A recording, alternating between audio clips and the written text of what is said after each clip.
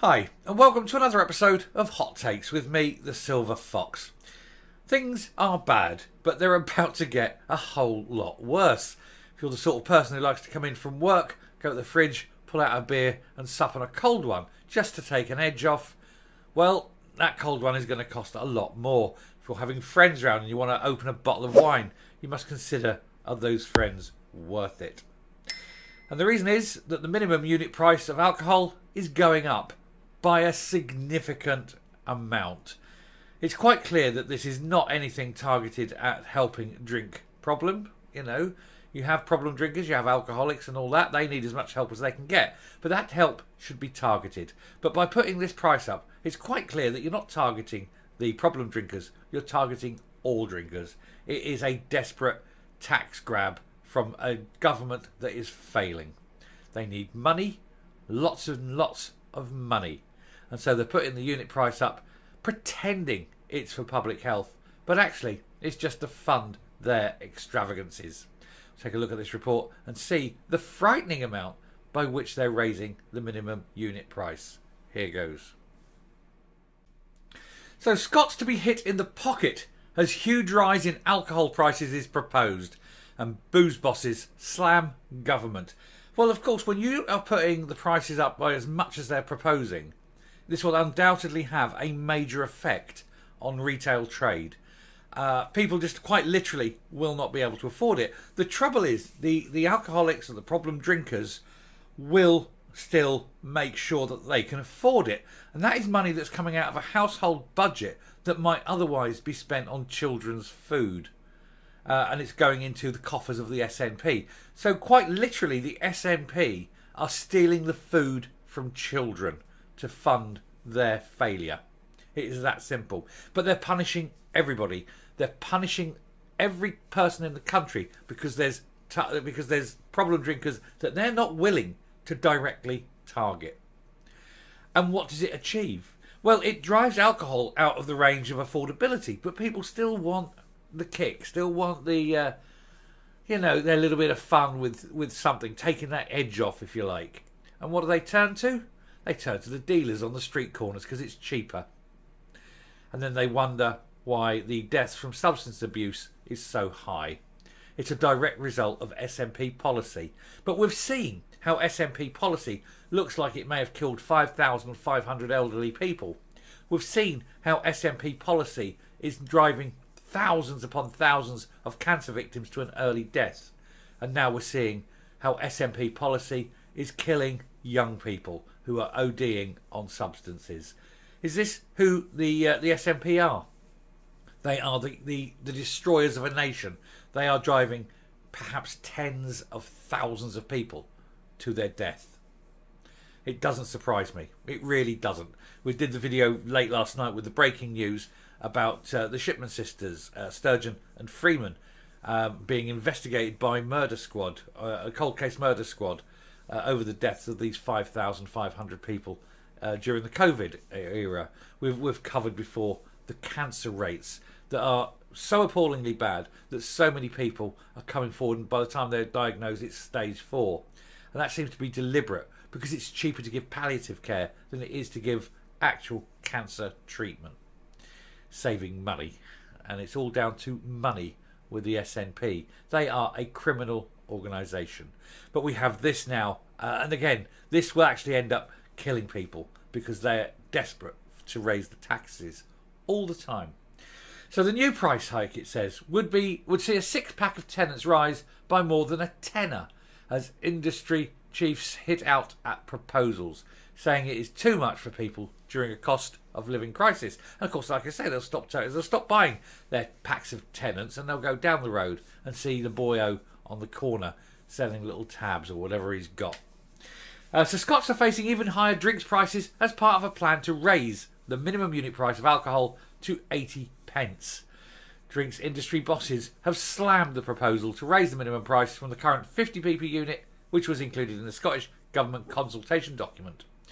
The proposal would mean a bottle of whisky could rise by more than £8, and a six pack of Tennent's uh, 500ml lager could go up almost a tenner.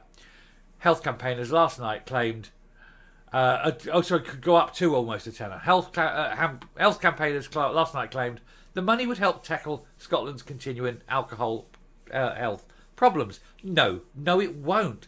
What it will do is it will go to fill in the billion pound plus black hole in the SNP accounts. Uh, and that's before they look at the next billion pound, which is the building problem that they have, and then the next billion pound after that. And then, of course, you're going to have all the claims that are coming in as well. They are massively, massively troubled by money because the SNP have screwed everything up. And so this isn't uh, a drive to help alcohol or any issues like that. It is purely a cash grab. Uh, anyway, the uh, the move has been criticised by drinks bosses who say it's too much for families already struggling during a cost of living crisis. And here's the thing: that any any money, the extra money they do rise, will probably have to go out in the form of benefits because the drinks industry will have to lay people off, and there'll be people made unemployment, whole families thrown into misery and poverty because of SNP policy. Uh, Hussein Lal, president of the Federation of Independent Retailers, said this could price out those who look forward to a beer or a glass of wine. It would be particularly hard when family budgets are already badly squeezed by the cost of living crisis. Lal added, We can see the argument for increasing the price, which has been in place for five years at a time of inflation. However, over 80p is over the top. The minimum unit price of 50p was introduced in 2018 following legislation backed by the uh, potential killer of 5,500 people, Nicola Sturgeon's SNP government. A study found the minimum unit price was linked to a 13% drop in the number of deaths from alcohol consumption. But actually, although they say, oh, look, it's 13%, it actually turns out that's actually a really, really small number. Meanwhile, the amount of people uh, affected by it is massive millions. And here's the thing the money uh, it would cost less. Put it this way: it would cost less to treat uh, problem drinkers than it would to basically tax the the rest of the country. But that's of course because they're not doing this to help problem drinkers. It's all a major cash grab. The current minimum unit price will expire next year, and a review is taking place on its uh, continuation. A Scottish Government consultation on the new limit was set out to industry groups uh, and set out they set out a range of options. The options include sticking with the current 50p minimum, reducing the price, as well as increasing the price to as much as 80 pence a unit. If, MU, if the MUP was increased from 50p to 80p, a bottle of famous grouse would increase from from 14 pounds to 22 pounds 40 for a bottle of whiskey. Well, the other thing, of course, is uh, somebody will just grab a white van, won't they? They'll drive down. They go into the uh, the, the Sainsbury's in Berwick or the Sainsbury's in uh, Carlisle, and they'll fill the van up and they'll drive back home, and they'll be happy, and they'll make a lot of money because they'll sell it. Easy days, lovely.